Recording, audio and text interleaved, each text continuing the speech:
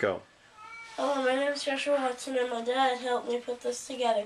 It's a Thomas Edison light bulb, and um, we're gonna show you how it works. First, you need a six volt battery and a jar big enough to hold um positive and negative wires with little um clippy things. You know what I mean? Because I'm showing you right now.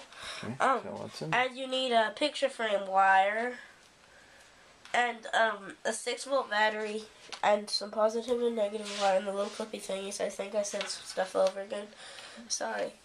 Go ahead. Okay. Now, let me show you how ours works.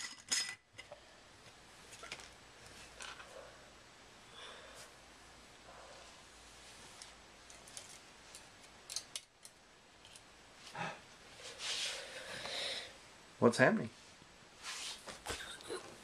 The filament's burning. Um, What hap- What would happen if the filament burned out right there? that means there's too much oxygen in the jar. There's too much oxygen in the jar, and what could you do to take the oxygen out of the jar?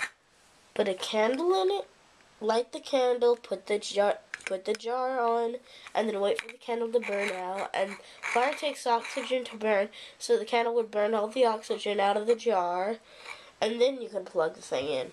Okay. You want to turn out the light so everybody can see how bright your light bulb is?